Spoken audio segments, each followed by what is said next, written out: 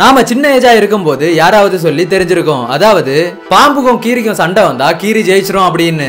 எதனால கீரி ஜெயிக்குது? பாம்பு விஷம் கீரிக்கு ஒன்றும் செய்யாதா?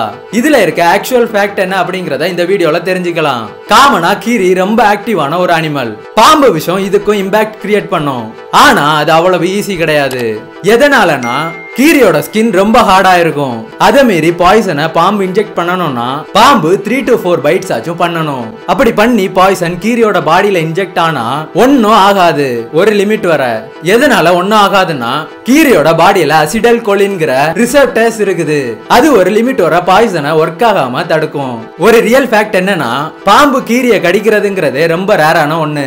முன்னாடியே சொன்ன மாதிரி தான் கீரி ரொம்ப ஆக்டிவான ஒரு அனிமல் பாம்பு கடிக்கிறது வரை கீரி சும்மா இருக்காது. இதான் பாம்பு கீரி சண்டையோட ஃபேக்ட்